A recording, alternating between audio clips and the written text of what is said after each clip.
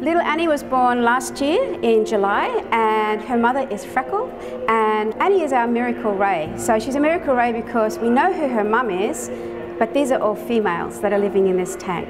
So where's the daddy? She's called Ani because uh, Anakin Skywalker, who is Darth Vader, also didn't have a father. Ani is almost seven months old. Now, as far as we know for this particular species, she seems to be the oldest clone. So we separated Ani from the other rays once she was born. This is so that we can keep a close eye on Ani, make sure that she's eating, make sure that uh, any medical needs are met, but she was in perfect health, ready for the transfer. She, uh, she handled the transport very well. She's been finding her wings in this tank and getting to know everybody and where everything is.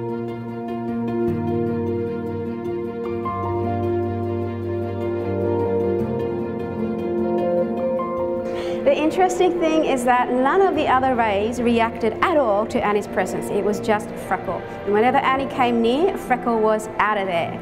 Things have settled down though and everybody is nice and calm. She shares the exhibit with lots of uh, tropical fish but also with seven other adult ocellated eagle rays as well, including her mum.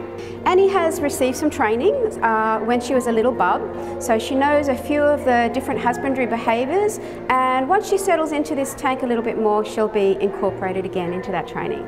So we want to keep a close eye on Ani, make sure that she's eating, make sure that uh, she navigates the exhibit, but now is the time that she learns to be an eagle ray with everybody else in the tank.